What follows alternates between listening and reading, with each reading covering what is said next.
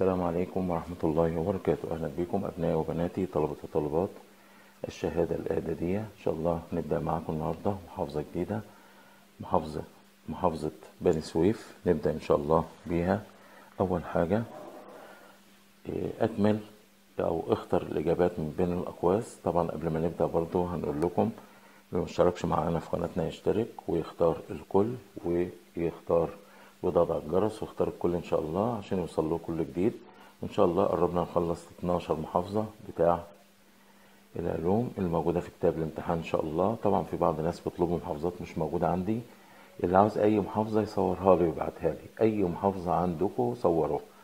لو أنتوا عندكم المراجعات النهائية لأن مش لاقيها عندنا في محافظة دمياط للأسف.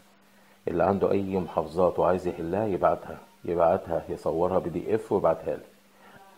عشان أطبعها اللي عنده أي محافظة وعاوز يحلها يبعتها PDF وأنا أبدأ آه، شغالها وأحلها إن شاء الله. بسم الله الرحمن الرحيم. إذا كان عدد الكروموسومات في الخلية الجسدية 2 N فإن عددها في الخلية التناسلية 2 N أيضا. تناسلية يعني إيه؟ يعني المبيض أو الخصي. عددها 2 إن برضه. 46 كروموسوم. طيب إذا سقط شعاع ضوئي على سطح مرآة مستوية وانعكس كما بالشكل. تمام؟ سقط فانعكس. تمام. فإن زاوية سقوطه بتساوي. زاوية سقوطه هتساوي إيه؟ طبعا هنعمل عمود مقام كده أهو أسهل طريقة. أهي. يعني الزاوية دي 90 يا مستر؟ آه. خدوا بالكم. هو عاوز إيه؟ في زاوية السقوط. هنا 90 خلاص؟ من 140 هتبقى 50 دي زاوية الانعكاس. إذا زاوية السقوط هتبقى كام؟ 50 ركزوا. طيب القطعة الضوئية التي تكون صورة معكوسة الوضع ومساوية للجسم الأصلي كلمة معكوسة يبقى مرآة مستوية وأنت مغمض وأنت مغمضة. طبقا لنظرية الانفجار العظيم كانت نسبة غاز الهيليوم إلى غاز الهيدروجين طبعا 25 ل 75 اختصر.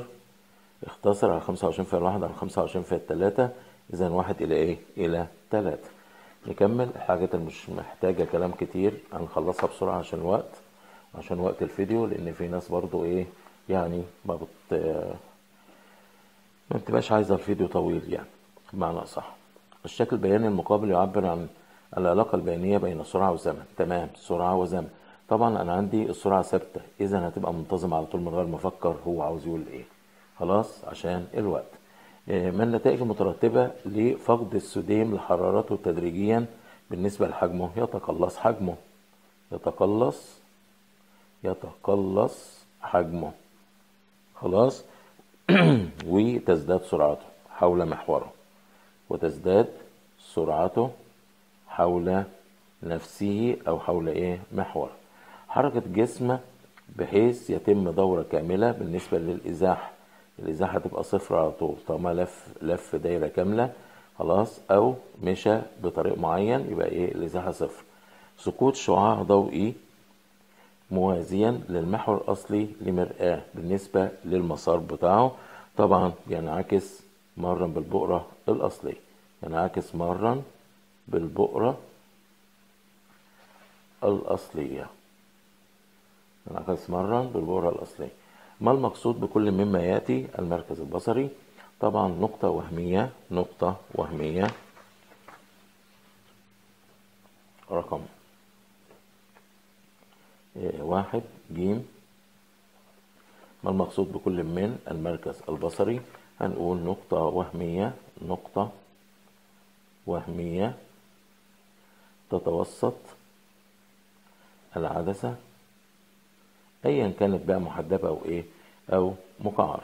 عملية الإخصاب هي عملية اندماج اندماج مشيج مذكر مشيج مذكر مع مشيج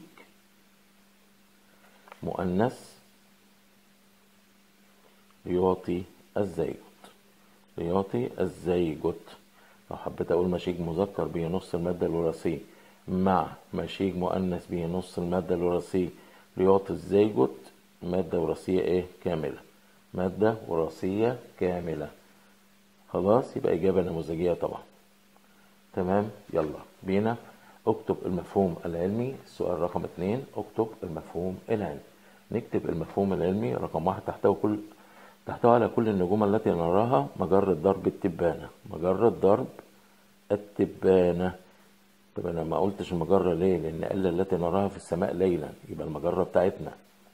المسافة بين البؤرة الأصلية لمرآة بؤرة أصلية وقطبها البعد البؤري. البعد البؤري. سرعة جسم متحرك بالنسبة للمراقب السرعة النسبية. السرعة النسبية. كلامنا مش محتاج كلام كتير بنمشيه بسرعة. الطور الذي تستعد فيه الخلية الدخول في عملية انقسام الطور البيني. الطور البيني اللي بيتضاعف فيه المادة الوراثية. السرعة المنتظمة التي لو تحرك بها الجسم لقطع مسافات متساوية في أزمنة متساوية. السرعة المتوسطة. السرعة المتوسطة. هي المسافة الكلية على الزمن الكلي لها تعريف آخر وهو السرعة المنتظمة التي لو تحرك بها. الهيدرا ونجم البحر من حيث طريقة التكاثر بكل منهما. الهيدرا طبعا عندنا عن طريق التبرام تبرام نجم البحر عن طريق التجدد عن طريق التجدد. المشيج المذكر والمشيج المؤنث من حيث مثال لكل منهما. المشيج المذكر طبعا الخصية الخصية. المشيج المذكر اللي هو الحيوان المنوي الحيوان المنوي في الحيوان والإنسان وحبة اللقاح. طبعا المشيج المؤنث اللي هي البويضة في كل من نبات وإنسان وحيوان. البويضة في الثلاثة البويضة في الثلاثة الصورة التقديرية والصورة الحقيقية من حيث كونها مقلوبة أو معتدلة. دائما التقديرية بتبقى إيه؟ معتدلة. معتدلة. طيب الصورة الحقيقية دائما مقلوبة. توأمها يعني. الشكل المقابل يوضح حال الجسم بدأ حركته شمالا من الح... من ألف إلى باء ثم من باء إلى جيم.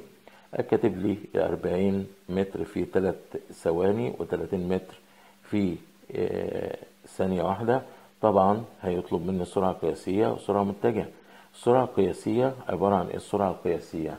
لو نكتبها بقى هنا بسرعة السرعة القياسية عبارة عن المسافة الكلية على الزمن الكلي يبقى السرعة القياسية المسألة أو السؤال رقم اتنين جيم. السؤال اتنين جيم. السرعة القياسية السرعة القياسية هيساوي المسافة الكلية على الزمن الكلي المسافة الكلية على الزمن الكلي طب المسافة الكلية كام؟ المسافة الكلية هنقول أربعين زائد تلاتين أربعين زائد تلاتين يعني سبعين على تلاتة زائد إيه؟ اتنين على تلاتة زائد اتنين يبقى الوقت هنا أهو سبعين على كام؟ على خمسة طبعا فيها أدا الواحد عشرين أربعتاشر يبقى أربعتاشر إيه؟ متر على إيه؟ الثانية طيب أنا عاوز أجيب السرعة المتجهة يبقى لازم أجيب الإزاحة. طب الإزاحة أجيبها إزاي؟ أكسر خط مستقيم بين نقطة البداية ونقطة إيه؟ النهاية. خلاص يبقى الإزاحة اتجاهها كده وبنجيبها تلاتين أربعين خمسين. في ثغرس على طول. في ثغرس يعني نجيبها كده في ثغرس على طول؟ آه. في ثغرس بتتحسب. تلاتين أربعين يعني تلاتة أربعة خمسة. خلاص يبقى السرعة المتجهة الإزاحة الكلية على الزمن الكلي يبقى السرعة المتجهة عبارة عن الإزاحة الإزاحة على الزمن الكل الإزاحة كام يا ولاد؟ طلع لسه خمسين حالة على الزمن هو هو خمس بيساوي عشرة متر على إيه؟ على السنة مسألة حلوة وفكرتها جميلة نيجي هنا للسؤال اللي بعد كده. أكمل العبارات. يقع مركز يقع مركز تكور المرآة المحدبة نقط السطح العاكس إيه المرآة المحدبة؟ طبعا إحنا عندنا المرآة المقعرة هيت. خلاص؟ بيقول لي مركز التكور أمامه أمام السطح العاكس طيب الأستاذة التانية ديت اهيت خلاص؟ طبعا هنا هوت السطح الإيه؟ العاكس بره. تمام؟ يبقى يقع مركز تكور المرآة المحدبة. نقط. خدوا بالكم. في اهو؟ ب. وهنا إيه؟ ميم.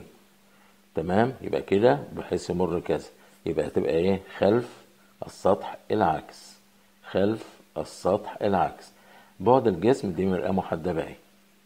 تمام؟ لكن هنا المرآة المقعرة بيبقى أمام السطح العاكس بعد الجسم عن مرآة مستوية بيساوي نقط بعده عن صورته بعد الجسم عن مرآة مستوية أدي مرآة مستوية لما يجي أي مسائل زي ديت يستحسن رسمها. ما نشتغلش بالذاكرة.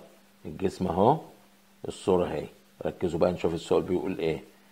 هنا جسم وهنا إيه؟ صورة. بالراحة خالص يا مستر بعد الجسم أدي الجسم أهو عن مرآة مستوية بيساوي نقط بعده عن صورته. يبقى بيساوي إيه؟ المسافة دي. بعد الجسم عن المرآة المستوية أهي. المسافة أهي. بيساوي نقط بعده عن صورته.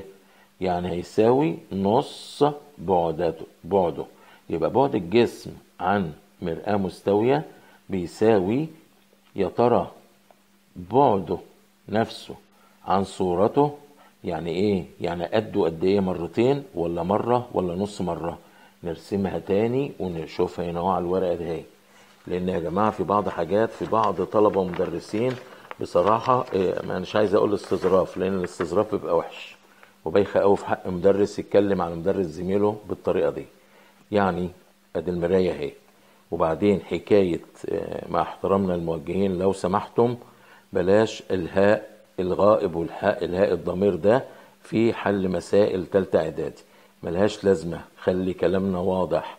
هو حرام أما أقول الكلام مباشر. هو حرام مش حرام. ده الجسم أهو. شوفوا كده نفسرها بعد الجسم عن مرآة أهو. هو المفروض بيساوي بعد الصورة عن المراية. أدي الصورة أهي. طب نشوف الأستاذ عاوز إيه. بعد الجسم عن مراية مستوية. أدي المراية المستوية. بيساوي إيه؟ بيساوي نقط بعده عن صورته. بيساوي إيه بعده عن صورته. يبقى دي بتساوي نص المسافة دي كلها. لأن صورته كلها قد دي مرتين. لأن دي لو 3 متر يبقى دي إيه؟ 3 متر. خلاص لو في أي أخطاء قولوا عشان إيه؟ معلش خبرة 30 سنة مش يعني إيه؟ مش هتكلم كتير في الحتة دي. الرجم السادة الموجهين بلاش اللعب بالألفاظ لما نيجي نحط أسئلة. خلاص؟ يبقى بعد الجسم عن المراية بيساوي صورته بعد صورته عن المراية.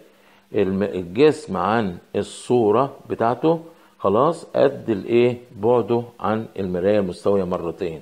يبقى بيساوي النص. يبقى التلاتين بيساوي إيه؟ نص الستين. للمسافة بين الجسم والتلاتة. لو أنا عملت دي تلاتة متر خلاص يبقى ستة متر المسافة بين الجسم وصورته. يبقى بعد الجسم عن المراية المستوية اللي هي تلاتة متر. بتساوي إيه؟ بتساوي نص بعده عن صورته. صورته اللي موجودة أهي. يبقى بعد الجسم عن الصورة قد بعد الجسم عن إيه؟ المراية مرتين. يبقى النص. في الطور نقط من القسام الميتوزي تحدث تحدث مجموعة من التغيرات العكسية الطور النهائي. الطور النهائي اللي بيحدث فيه علاقات عكسية كتير أربع حاجات. ما حدث في الطور التمهيدي يحدث عكسه في الطور النهائي. تحدث ظاهرة نقط في نهاية الطور التمهيدي من قسم الميوز الأول ظاهرة العبور. إذا بدأ الجسم حركته من السكون فإن هذا يعني أن سرعته الابتدائية بتساوي إيه؟ صفر. إيه عندي الشكل المقابل. ادرس الشكل المقابل والذي يمثل حركة جسم ثم أجب عما يأتي. ما قيمة العجلة التي تتحرك بها الجسم في فترة ألف باء طيب أجيب العجلة إزاي؟ هنقسم ستين على إيه؟ تلاتة. ستين على تلاتة. يبقى هنقول العجلة ستين على إيه؟ تلاتة. فيها إيه؟ عشرين متر على إيه؟ ثانية تربيع. تاني يا مستر. ممكن نعمل كده أهو. وأقول مقابل أهو ستين على مجاور اللي هي تلاتين اللي هي تلاتة. يبقى تلاتين على الستة فعلى عشرين متر على الثانية إيه؟ تربيع. وحدة القياس مهمة. ما نوع العجلة التي تتحرك بها الجسم جيم دال تناقصية تناقصية. ما قيمة الفترة الزمنية التي تتحرك فيها الجسم بعجلة صفر. القيمة الزمنية يعني عايز الزمن اللي تحت ده. يبقى نقول خمسة ناقص تلاتة.